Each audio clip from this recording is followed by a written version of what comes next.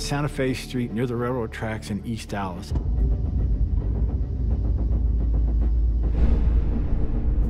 We find a strangled Hispanic female there who's had her clothes torn off of her. They swabbed her. And all of the swabs tested positive for the presence of seminal fluids.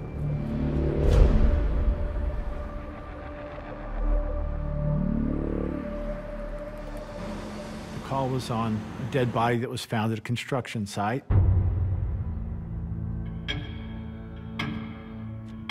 She was hidden behind mounds of dirt that were there. She also was left partially nude.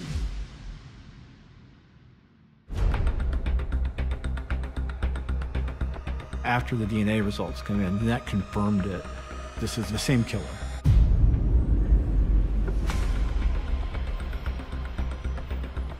Six months passed, a year passed, and this individual did not strike. Was he going to hit again? I felt that he would, and uh, it was just a matter of time.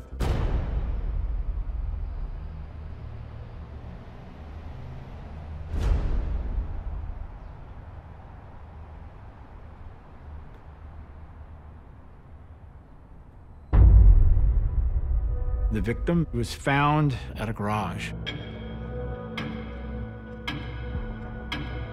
She's displayed on the hood of a car after having been brutalized by someone. She's completely naked. The victim's name was Veronica Hernandez. There it was. We realized that he was still out there. We're looking at the same individual. There's no doubt in our mind. The media made it run like wildfire, and an anonymous caller called in a tip that this particular suspect that he had seen with this third victim was actually wearing a mechanic shirt.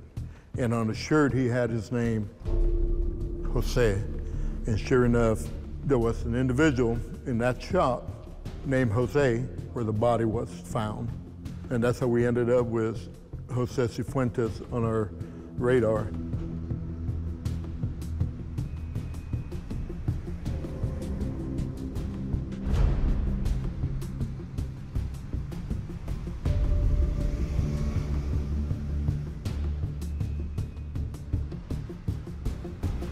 Jose Cifuentes. He was a 21 year old.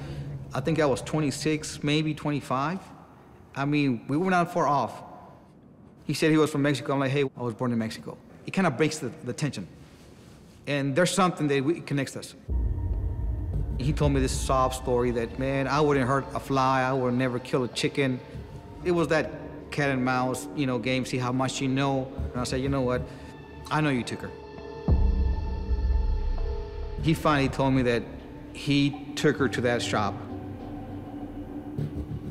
He said, she fought.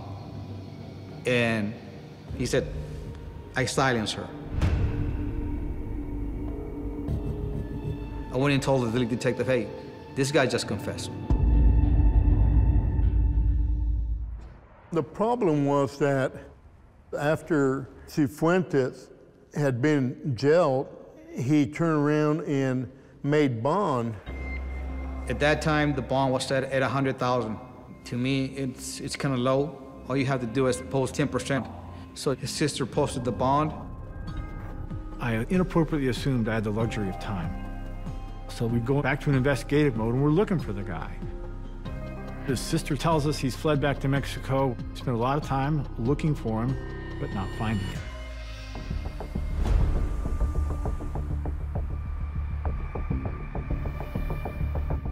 Then here, years later, homicide detectives think they have found uh, this guy, Jose Cifuentes, on Facebook. Uh, he created a Facebook page. It seemed implausible, but it was the truth. FBI and Interpol and the folks down in Mexico City put together a, a surveillance team. He was arrested on, uh, never forget it, April 25th, 2019.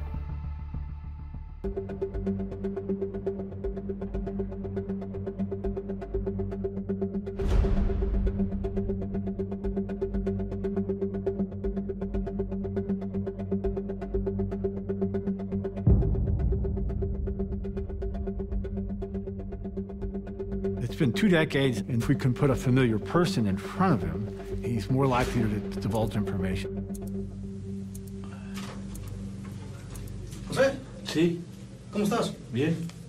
¿Te acuerdas de mí? Sí. You have to gain their trust. And one of the best ways is see if you can give him something. And I gave him the picture of his wife. ¿Te hago una foto? It usually builds rapport. ¿Cómo consiguió esta foto, Lic? Lic. That is the short term for licenciado in Spanish. A licenciado, it's somebody with a title. So it was like, uh, you know, I respect you. Gracias.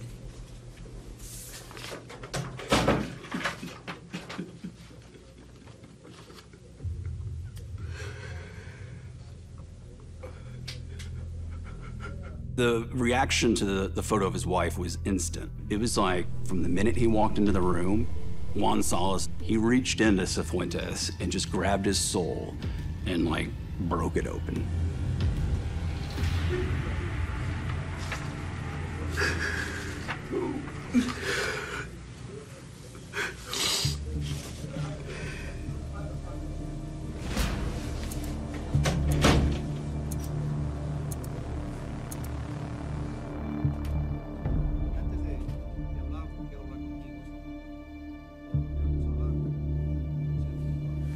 José, si yo te preguntara, ¿cuánta gente has matado?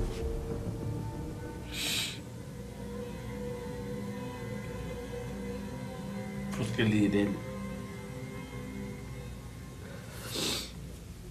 ¿Cuántos? It wasn't a question, it was more an affirmation. How many have you killed? I want him to know that I already know the answer. Pero yo quiero hablar del 98. Ah, sí, una chava de la.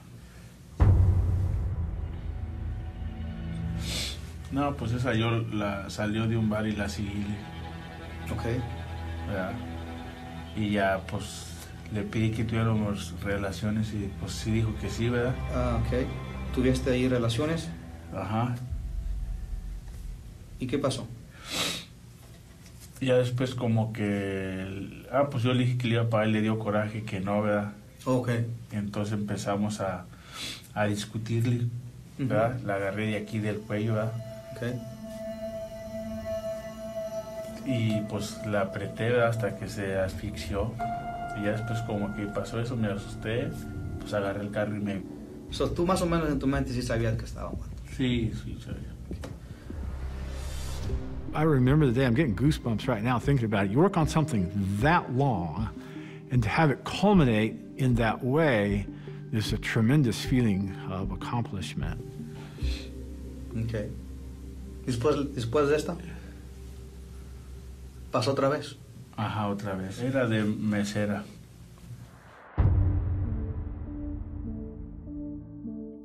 ¿Y qué pasó esa noche? Igual y pues hice lo mismo que con ella, ¿verdad? El coraje. Me arrepiento por todo lo que he hecho. Le, le pido perdón a Dios. Jose Cifuentes, he killed three people, and he confessed to it.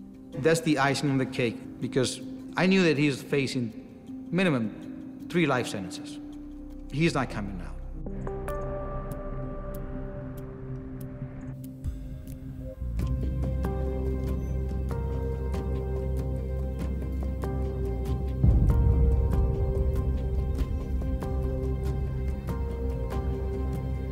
Veronica Hernandez's daughter gets on the stand and looks at him, and her eyes kind of explode.